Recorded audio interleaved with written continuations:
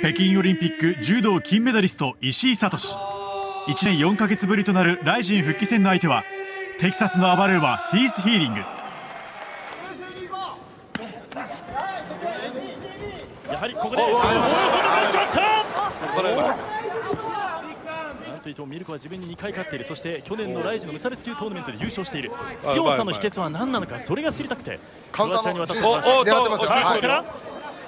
た左腕を取っていくかという石井です。さあアームロックを狙っていきます。立ち上がりから試合を優位に進めたのは石井。第2ラウンドに入っても相手に主導権を渡しません。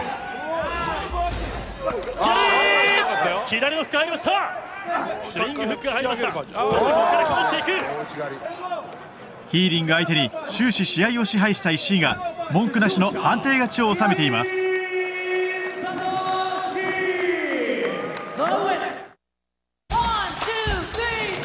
振り込め詐欺や